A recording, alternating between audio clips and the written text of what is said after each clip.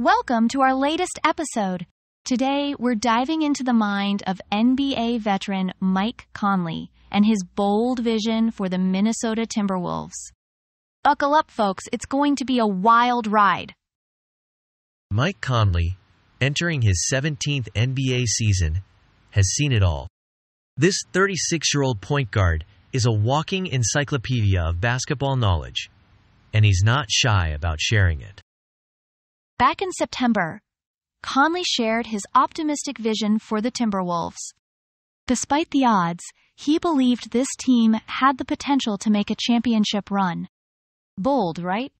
Fast forward to now, and the Timberwolves have racked up 56 wins, securing the number 3 seed in the Western Conference.